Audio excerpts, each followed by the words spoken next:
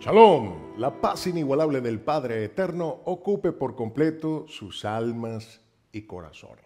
Soy Javier Bacallao, bienvenidos a Beisayi Ministries, Ministerios Casa Olivo, un ministerio del Padre Eterno para las familias del pueblo del Creador, un Creador perfecto con palabras igualmente perfectas, palabras que no se contradicen, las mismas palabras del libro de Génesis, palabras vigentes hoy pues son perpetuas palabras que se mantienen en el libro de revelaciones, Apocalipsis.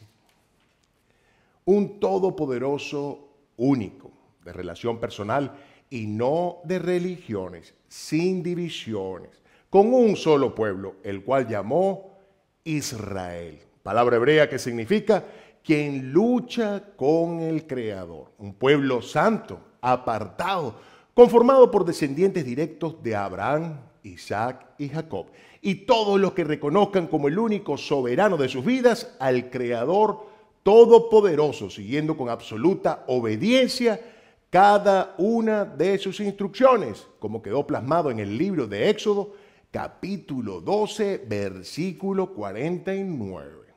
Instrucciones perpetuas que traen bendiciones a nuestras vidas y a la de todas nuestras generaciones, como quedaría registrado en el libro de Éxodo, capítulo 20, versículo 6. Instrucciones del Padre Eterno, que nos indican cómo el Creador ordena relacionarnos con Él y con toda su creación. Instrucciones perpetuas, para siempre, eternas como lo indicó el Mesías Salvador, instrucciones de su Padre Eterno, las cuales cumplió con absoluta fidelidad y obediencia, advirtiendo que no debían añadirse o cambiarse nada a ninguna de las instrucciones, que la obediencia de estas es la única forma de amor y respeto al Creador, asegurando su cuidado y bendiciones, como quedaría registrado en los escritos del apóstol Juan capítulo 14, versículo 23 al 24. Parte importante de esas instrucciones es la de guardar el día de reposo, el Shabbat, como se dice en hebreo, el cual es el cuarto de los diez mandamientos, señal del pacto eterno con el Creador, como se registró en el libro de Éxodo capítulo 31, versículo 13 pacto donde reconocemos al Creador como el único soberano de nuestras vidas y le declaramos que somos parte de su pueblo, recibiendo nombres perpetuos de hijos que nunca perecerán, como lo registró el profeta Isaías en el capítulo 56, entendiendo ahora que somos parte de un pueblo santo, apartado por y para el Creador, de relación y no de religión, con una constitución, un manual de instrucción del Creador para transitar de forma segura por este espacio de tiempo llamado vida, con destino al Padre Eterno, a la tierra de la promesa, a la eternidad con sus bendiciones. Ahora podemos disfrutar a plenitud de este hermoso libro, como se dice en griego, Biblia, y en hebreo, Torah, lo cual significa instrucción teniendo conciencia plena de todas las promesas y bendiciones referidas en Él, por obediencia para todos nosotros, su pueblo. Estamos disfrutando el libro de Deuteronomio, palabra griega que significa repetición de la ley, de las leyes, de las instrucciones del Creador. De Devarim, como se dice en hebreo, lo cual significa palabras, nombre que recibe por ser las palabras de Moisés está dirigiéndose al pueblo del Creador para cruzar el río Jordán antes de llegar a esa tierra de la promesa. Deuteronomio de Barín son las palabras de Moisés, amado siervo del Creador, en un discurso hermosísimo, un testamento a su amado pueblo, al pueblo del Creador, sabiendo que Él está próximo a partir con el Padre Eterno y su pueblo a entrar a la tierra de la promesa. Moisés, amado y fiel siervo del Creador, próximo a cumplir los 120 años de edad, se encuentra frente al río Jordán, cumpliendo con la encomienda asignada por el Creador de dirigir a su pueblo hasta ese momento. Deuteronomio de Barín es el quinto libro de la Santa Escritura, conocido en hebreo como Mishneh Torah, repetición de las instrucciones del Creador. Este precioso libro nos recuerda el poder, la seguridad, la gracia, el amor y misericordia en la mano del Eterno, en esa perfecta y segura guía que hay al sujetarnos con fuerza a sus instrucciones, pudiendo transitar en bendiciones por ese espacio de tiempo llamado vida, con destino a su encuentro en la eternidad. Nos encontramos frente al río Jordán, con el pueblo del Creador listos para entrar a la tierra prometida, después de haber transitado por 40 años por el desierto, por no seguir las instrucciones del Creador. Instrucción de entrar y ocupar la tierra de la promesa. Tierra que a los exploradores de su pueblo solo les tomó 40 días recorrer, como quedaría registrado en el libro de Números, Bemidbar, en el desierto, capítulo 13, versículo 25. Solo entrarán a la tierra de la promesa Caleb y Yehoshua, fieles y obedientes siervos del Creador, y toda una nueva generación del pueblo del Creador, los cuales eran menores de 20 años para el momento del inicio del tránsito por el desierto. En esos 40 años fallecieron todos sus antecesores por su desobediencia y permanentes rebeliones contra las instrucciones del Creador como quedaría registrado en el libro de Números, capítulo 14, versículo 29. Moisés, siervo amado del Creador, está por cumplir 120 años de edad, con buena salud, como lo registra el capítulo 34 de este precioso libro de Deuteronomio, de Devarín. Moisés ha visto la hermosura, la magnitud, y bendiciones sobre la tierra de la promesa. Y por más que ha insistido el Creador, no será quien dirija al pueblo del Creador a ocupar la tierra prometida. Moisés le recuerda al pueblo del Creador con su ejemplo la importancia de seguir las instrucciones del Creador con fidelidad para vivir con la seguridad y resguardo que únicamente nos puede brindar el Todopoderoso en nuestras vidas. Nos revela ese sentimiento de responsabilidad de haber obedecido al Creador con fidelidad la instrucción que le fue dada. De cómo, por no hacerlo, perdió la bendición de continuar dirigiendo al pueblo al pueblo del Creador a ocupar la tierra prometida. Como quedaría registrado en el libro de Números, Bemidbar, capítulo 20, versículo 12. Ese momento, ese episodio, cuando el pueblo estaba sediento y como era ya de costumbre, se dirigían a Moisés con insolencia, eh, refiriéndose al Creador de una forma irreverente queriendo incluso, deseando haber tenido el mismo destino que sus antecesores, de haber fallecido en el desierto. En ese momento, el Creador gira instrucciones precisas a Moisés de dirigirse, de tomar la vara, dirigirse a la roca y darle la orden en nombre del Creador de darle agua a ese pueblo que se encontraba sediento, lleno de cólera, de sentimientos, todo justificado, sin duda alguna, un hombre ya, imagínense la edad que, Moisés tenía, ya próximo a cumplir los 120 años, eh, acababa de fallecer su hermana, y este pueblo siempre persistiendo en todo el viaje por el desierto con esa mala conducta. No le habla la roca, la golpea y no, no una vez, sino dos veces no honrando la palabra del Creador, lo cual pretendía demostrar que solamente con la palabra del Creador esa roca daría agua. Por esa razón, Moisés no va a gozar de esa bendición de ser él, con ese entusiasmo que él sin duda, alguna anhelaba, ser quien llevara al pueblo del Creador adentro a ocupar la tierra prometida. Esto nos revela que incluso con esa cercanía que tenía Moisés con el Creador, toda bendición tiene sus condicionales. y es la obediencia. No hubo sin duda alguna algún tipo de ruptura en esa relación tan hermosa que sostenía Moisés con el Creador, pero sí deja en evidencia que cada bendición tiene una responsabilidad de cumplir a cabalidad las instrucciones que el Creador nos ha dejado plasmadas.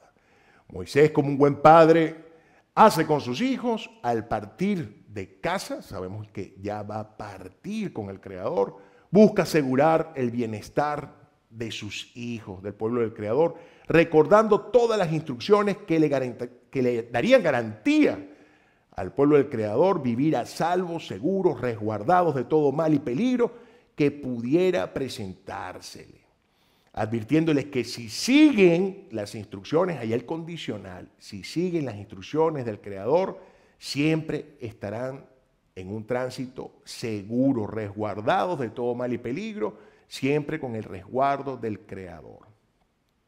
Moisés es enfático con el pueblo del Creador al recordarles cómo el Creador Todopoderoso ha colocado en sus vidas la libertad de escoger el buen camino en la vida, la buena dirección, las que le permitirá disfrutar de cada una de las bendiciones que el Creador tiene para cada uno de sus hijos, en la obediencia a sus instrucciones, a su perfecta y segura guía, o transitar en este mundo de forma errática, sin la luz de las palabras del Creador, en oscuridad, tropezando y con desatinos a lamentar sin duda alguna.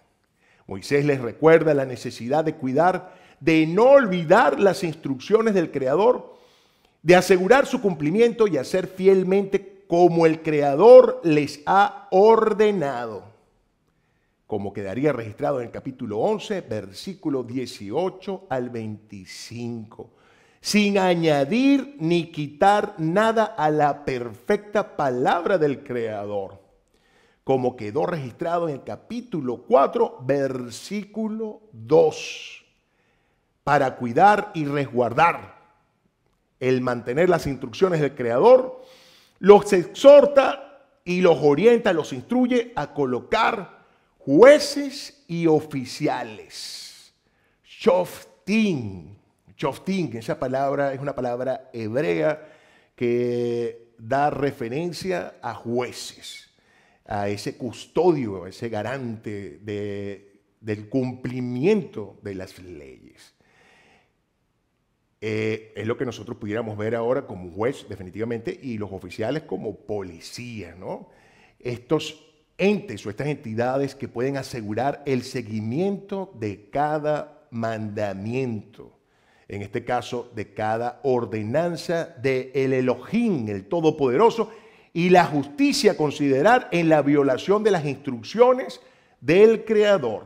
Esta porción de estudio de las Santas Escrituras da una clara dirección al pueblo del Creador en las palabras, en las de Barín de Moisés, de lo importante de resguardar todo nuestro entorno, todo nuestro ser, con choftín, con jueces, con oficiales, con policías Aquí hay una preciosa revelación en este espacio eh, de las Santas Escrituras de cómo existe una necesidad de tener conciencia, tener disposición, tener esa voluntad de ser fieles a las palabras del Padre Eterno, colocando Shoftim en todo nuestro ser, en todas esas puertas que tenemos de nuestro ser, ese templo que somos nosotros para el Creador de su Rúa HaKodesh, de su espíritu de santidad. ¿Cuáles son esas puertas? Los ojos, porque por los ojos podemos tener eh, esa visión de todo lo que nos rodea. Los oídos, porque por ahí podemos escuchar y debemos ser cuidadosos donde nos exponemos, con quién compartimos, qué escuchamos, igualmente con qué vemos. Y también la boca porque por la boca eh, hay ese acceso a lo que el, Creador nos da para alimentar nuestro ser y lo que no es alimento. Igualmente, en cuanto a la salida, qué palabras empleamos para dirigirnos a la creación, a, a nuestro prójimo, a todo lo que está a nuestro alrededor cómo honramos con cada palabra la presencia del Ruach HaKodesh, del Espíritu de Santidad en nuestro templo, ese templo que estamos ofreciendo al Creador para que Él se enaltezca a través de nuestra conducta, de nuestra fidelidad y obediencia a cada una de sus instrucciones. Hermosísima porción que nos invita a, tener siempre esa, esa firmeza con, con todo esto que estamos expuestos en el mundo y a tomar nuestro corazón y nuestros pensamientos como ese juez que conociendo la palabra puede someter a juicio todo lo que hacemos, todo lo que vemos, todo lo que escuchamos, de tal manera de que si erramos y, tropezamos, tengamos la capacidad de hacer, como se dice en hebreo, teshuva, reconociendo que hemos cometido un error, una falta que, que de alguna manera eh, va en contra de las instrucciones de nuestro Padre Eterno, tengamos la capacidad de rectificar y reconocer lo que hemos hecho. Esta porción de estudio comprende del capítulo 16, versículo 18, al capítulo 21, versículo 9, de este precioso y muy apreciado libro de Deuteronomio, de Devarim. El Creador nos recuerda en las palabras de Moisés que no hace acepción de persona alguna ni acepta soborno como previamente se enfatizara y quedó registrado en el capítulo 10, versículo 16, que ya tuvimos la oportunidad de compartir. El Creador soberano de todo ama la justicia y el seguir sus instrucciones es vivir en justicia, en santidad, apartados para Él, en su amor, en su instrucción, en su luz y perfecta guía. La justicia es aplicada para todos por igual, sin distinción alguna. Nuevamente Moisés enfatiza la instrucción del Creador de no seguir tradiciones y costumbres de hombres, que en conocimiento o ignorancia puedan ir contra la santidad de su pueblo. Entendemos que santidad es vivir apartados. ¿Apartados para quién? Para el Creador. Apartándonos en desobediencia, en no acatar esta instrucción precisa de su resguardo, el resguardo del Creador. Y hace mención particular, que es bien interesante, en el capítulo 16, versículos 21, de una costumbre pagana eh, en las tierras que ya van a ocupar, relacionadas con la colocación de árboles en sus recintos. En los escritos del profeta Jeremías, en el capítulo 10, versículos del 12 al 4, leemos palabras del Creador donde recuerda su instrucción. Vamos a ver. De no seguir tradiciones de hombre, porque esas costumbres son vanidad. Y hace referencia precisa a la costumbre y tradición de cortar árboles de bosque y colocarlos en recintos con clavo y martillo para que no se muevan y decorándolos con objetos de plata y oro.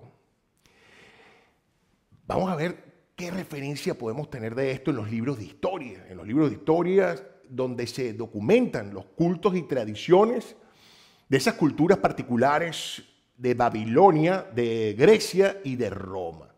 En estos libros que hoy en día tenemos acceso a través de la internet, antes teníamos que dirigirnos a una biblioteca, quizás era un poquito más complicado, pero ahora simplemente vamos a internet y colocamos eh, este título, ¿eh? Costumbres eh, de Babilonia, de Grecia y de Roma en referencia a los árboles cortados. ¿Y qué nos aparece con esto? ¿Qué nos encontramos aquí? Se hace referencia de esas prácticas paganas para sus correspondientes deidades. Era una práctica pagana para rendir culto a sus deidades. Específicamente en los tiempos del solsticio de invierno. ¿Qué es el solsticio de invierno? Es el momento en que el sol alcanza su menor altura. Es decir, que la noche es mucho más larga lo cual ocurre en el calendario gregoriano, que es el, calendario por el cual nos regimos, la humanidad se rige hoy en día, en lo que conocemos con el mes que se llama diciembre. Estos son reseñas importantes eh, de atender y queda eh, ya de interés nuestro con esos choftín, con esos jueces que el Señor nos invita a tener permanentemente en nuestros corazones, en nuestras vidas, evaluar qué podemos estar haciendo en estos momentos que ya el Señor nos advertía que teníamos que tener muchísimo cuidado, que podíamos de alguna manera tener desconocimiento, pero ahora que el Señor nos da una referencia de lo que no es correcto, así como nos, nos ha hecho saber a través de sus santas escrituras, de lo que es alimento y lo que no es alimento y tantas otras cosas, nos hace una reseña importante a considerar. En las Sagradas Escrituras, en eh, Segunda de Reyes, capítulo 17, versículos del 12 al 15, se nos indica que el pueblo del Creador no hizo caso a las instrucciones del Todopoderoso, que las ignoró, siguiendo la vanidad, haciéndose vanos, siguiendo tradiciones de hombre, endureciendo sus corazones al no seguir las instrucciones del Creador, apartándose de su gracia, resguardo y bendiciones. Y concluye en ese mismo libro de Segunda de Reyes, capítulo 17, en los versículos 39 al 41. Pero, pero ellos no escucharon, prefirieron seguir sus costumbres antiguas. De ese modo lo hicieron sus hijos sus nietos, así como lo siguen haciendo hoy, apartándose de la segura mano de protección del Creador. Cuando uno lee estas líneas, definitivamente uno no puede dejar de asombrarse. Por eso las Santas Escrituras son un GPS, un mapa una constitución del pueblo del Creador. En este libro están plasmadas todas las indicaciones con vivencias referenciales de todos esos personajes hermosísimos, reales, que tropezaron, tuvieron al alcance la palabra del Creador, sus instrucciones, y se ve las consecuencias en bendición para los que siguieron y se aferraron en una forma obediente a cada una de las instrucciones y cuál fue la consecuencia de no hacerlo. Impresionante poder leer esto y no dejar de traerlo a estos tiempos y ver cómo, sin darnos cuenta, hemos nacido en una cultura llena de tradiciones, de cultos, que desconocíamos hasta hoy, quizás el trasfondo detrás de cada uno de ellos y cómo el Creador, en esa invitación que nos hace, no a leer, a estudiar, a escudriñar, a sumergirnos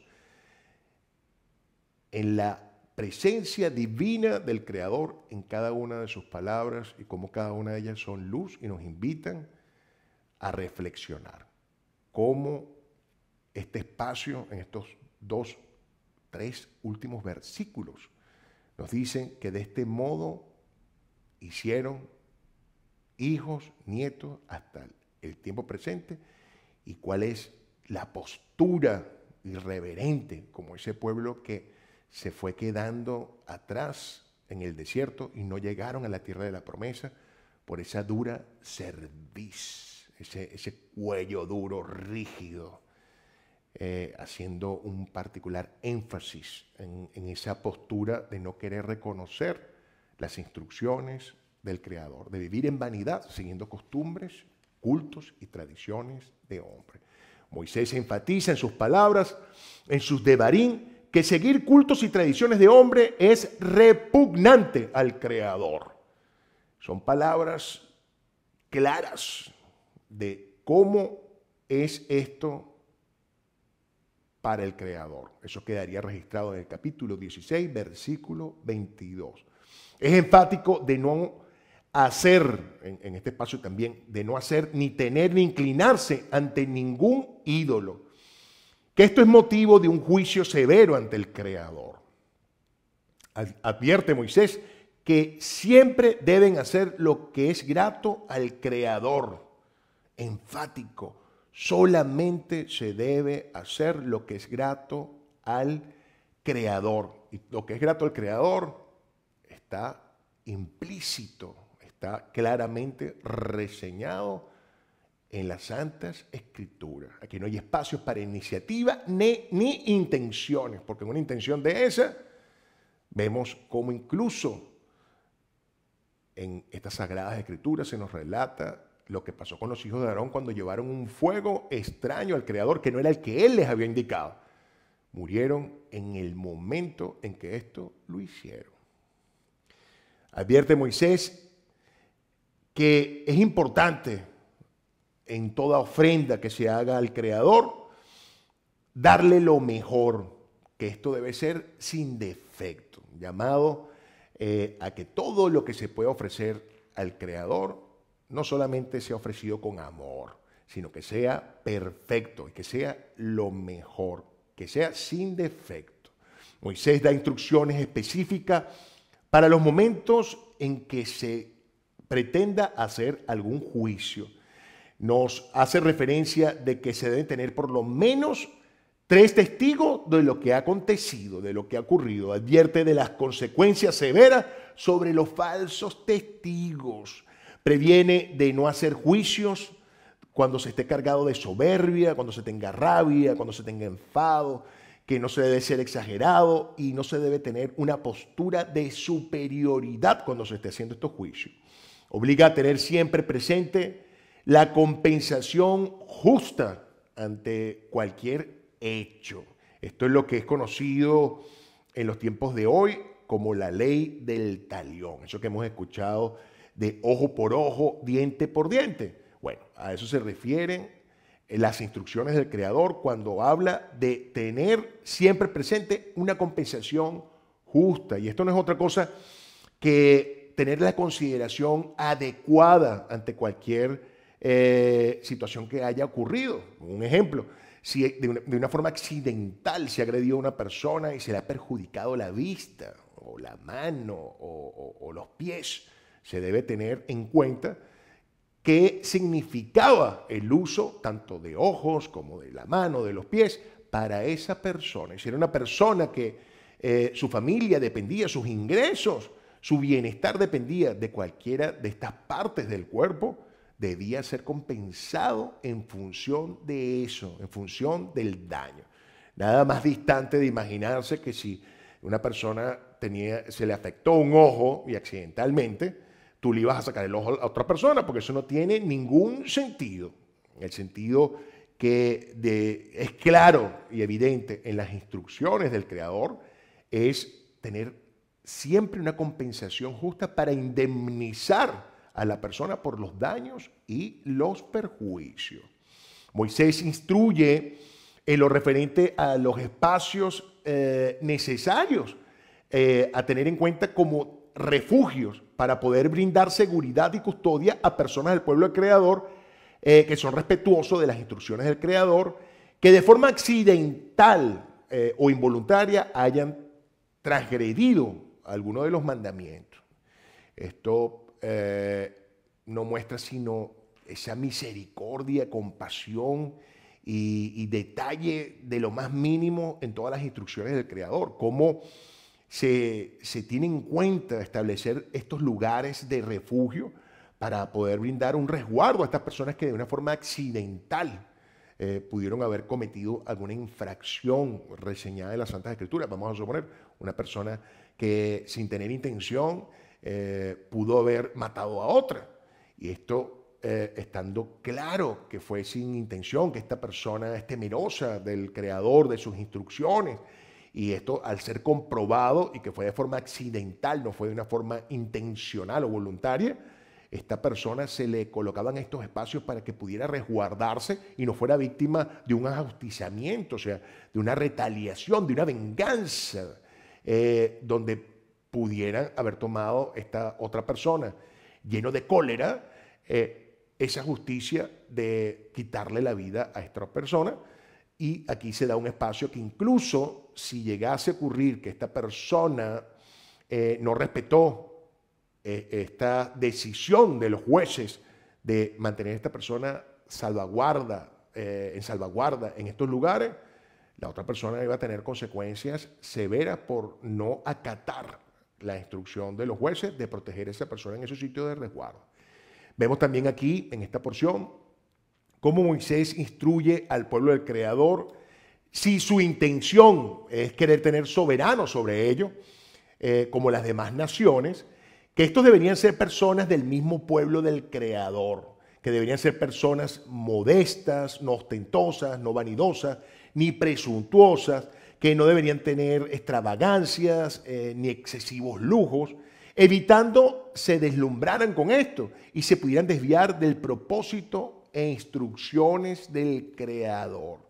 Esto era en caso de que estas personas, eh, viendo que otras naciones tenían esta figura de reyes, quisieran tener reyes, el Creador busca protegerlos eh, siempre guardando lo que escoja una persona de su pueblo y que tenga estas características de humildad y de modestia. ¿no? También Moisés es enfático que la persona que tenga la soberanía sobre el pueblo del Creador debe ser conocedor fiel de las instrucciones del Creador, debe conocerlas y, y tenerlas siempre presente todos los días, siendo ejemplar, cumplidor de las mismas en absoluta obediencia en respeto al Creador, teniendo en cuenta que el Creador es realmente el soberano de absolutamente todo, que es el todopoderoso. Qué importante todos los, detalles que se dan, que uno se da cuenta que si esto eh, fuera considerado hoy en día, imagínense la bendición de cada una de las personas que tengan la potestad y la, eh, la soberanía, el gobierno de dirigir las porciones de las naciones si esto fuese así. ¿no?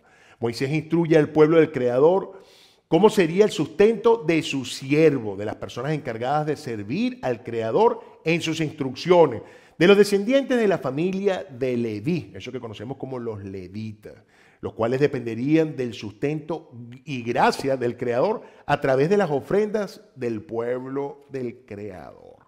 Moisés recuerda también en esta porción al pueblo del Creador, que son un pueblo santo, apartado por y para el Creador. Advierte de alejarse de toda práctica de encantamientos, de hechicería, adivinación, predicción de futuro, invocación de muertos y de espíritu. Todo esto le repugna al Creador. Moisés le indica al pueblo del Creador que el Todopoderoso enviará profetas y que serán reconocidos porque serán fieles cumplidores de cada una de sus instrucciones, que guardarán con fidelidad absoluta sus palabras y se demostrará con sus acciones, que permitirá que personas puedan presentarse quizás como profetas, siendo reconocidos por no hablar y seguir con fidelidad las palabras del Creador, lo cual traerá condenación a sus vidas. Moisés instruye al pueblo del Creador en respetar siempre los límites de las propiedades. Los instruye para situaciones de contienda, que no deben olvidar quién los respalda siempre, si siguen y obedecen las instrucciones del Creador, sin importar la magnitud que pudiera parecer tener el adversario o la adversidad, que deben evitar los conflictos, siempre imperando la paz. Qué hermoso. Moisés instruye al pueblo del Creador para los momentos bélicos inevitables, que no deben obligar a quien no tenga valor a participar en ello, que no deben insistir eh, en empujarlo eh, a la confrontación. Y es que es entendible, tú no puedes llevar a una persona a una confrontación cuando esta persona eh, no, tiene el semblante, es temeroso porque lo estás obligando a hacer algo que seguramente le va a costar la vida. Y no solamente eso, sino que también ese efecto va a, replicarse quizás en las personas cercanas a él. Cuando vean esto se van a llenar también de temor.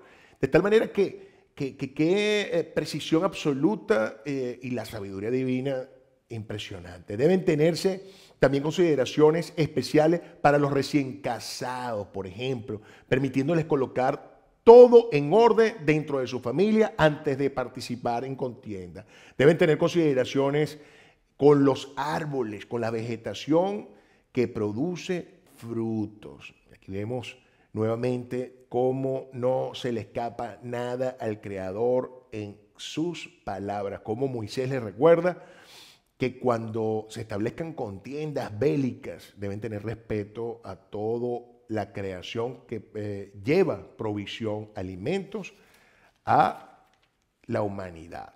Moisés le recuerda la importancia de desechar, de deshacerse de absolutamente todo de los sitios a ocupar, de todas las costumbres y tradiciones, evitando tropiezos en la relación con el Creador, en desobediencia a sus instrucciones, lo cual les apartaría de su gracia, de su resguardo y su protección.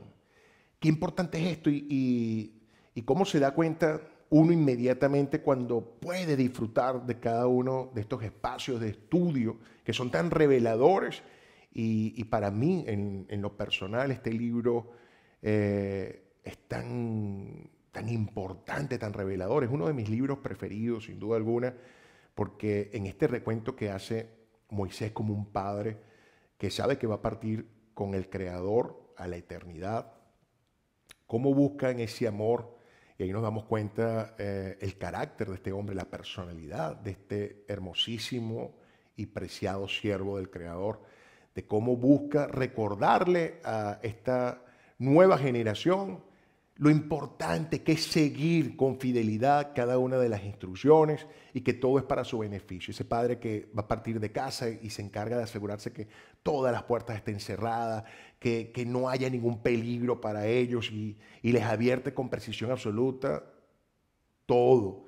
Y nos podemos dar cuenta cuando siempre nos enfatiza de que siempre vamos a vivir con el resguardo, la protección, las bendiciones del Creador, siempre que no nos apartemos de su luz, de su perfecta guía. Lo cual nos da una clara reseña que el Creador nunca se aparta de nosotros. Sus bendiciones nunca se apartan de nosotros. Sus promesas nunca dejan de cumplirse. Quien se aparta de las bendiciones, de las promesas y del buen camino es uno. Por necedad, no, no por desconocimiento, porque tenemos la revelación de las palabras. Sabemos lo que es bueno y lo que es malo. A un punto de detalle impresionantemente hermoso. Nos dice qué comer, qué no comer, con quién debemos compartir, con quién debemos rodearnos, eh, qué tipo de pareja eh, eh, el Señor nos orienta en esa igualdad de amor y de conocimiento y fidelidad a la palabra del Creador, cómo nos advierte de costumbres, de tradiciones, de esa banalidad cuáles son sus momentos festivos.